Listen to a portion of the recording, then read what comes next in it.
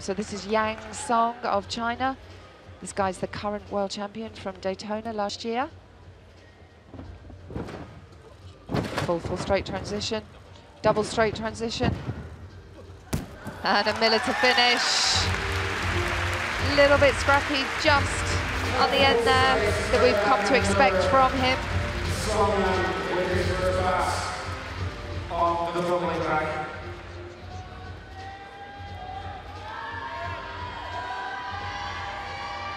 There's the double straight.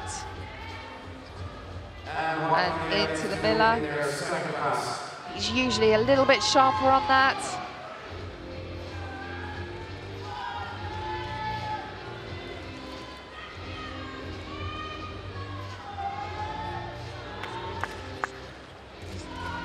I'm sure he'll still get a huge score for that.